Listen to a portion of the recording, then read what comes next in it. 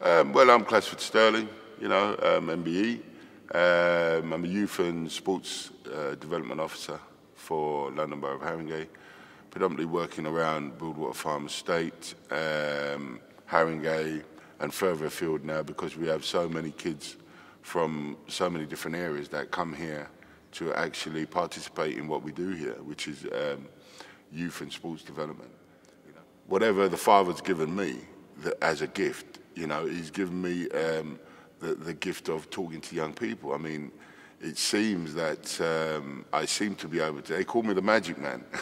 I seem to be able to get young people to do things that other people can't. And um, as the years go on, um, a lot of young people have benefited from it.